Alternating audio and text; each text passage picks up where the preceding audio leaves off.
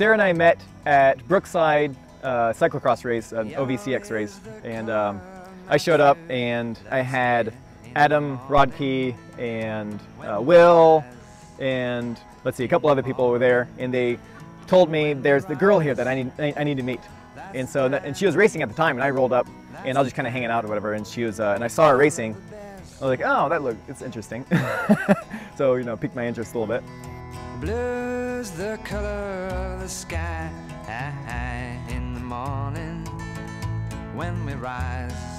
He walked up to me and said, hey, do you want a beer? And so I went to his truck with Fred and Liz and we had a beer with him and you know, I, he was nice and sweet and cute and I was like, eh, I can get to know this guy a little better. And then we went to races every weekend and kept seeing each other and kept seeing each other. She's asking friends if she could get a uh, ride to the UCI three-day weekend race, cyclocross race. And it was in the car on that race that I knew I was going to marry him before we'd ever kissed, dated, anything. And I felt a little crazy, but it was right. So here I am.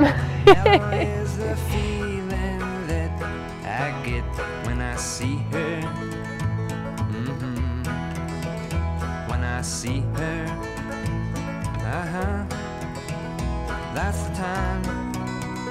That's the time. I love the best. Okay, everybody. Come on and gather around here. It's time to start the ritual of the ages. We've gathered to witness the marriage of Josh and Sarah.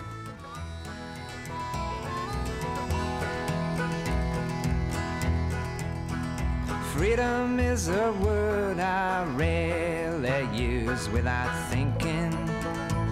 Mm -hmm. Without thinking.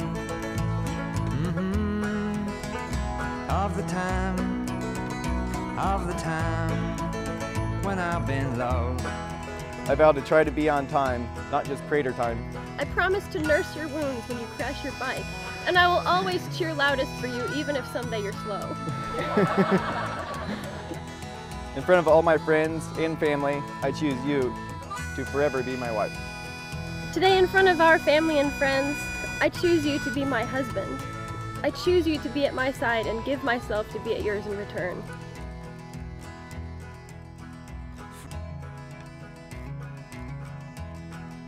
I can't wait for the memories our life together will create.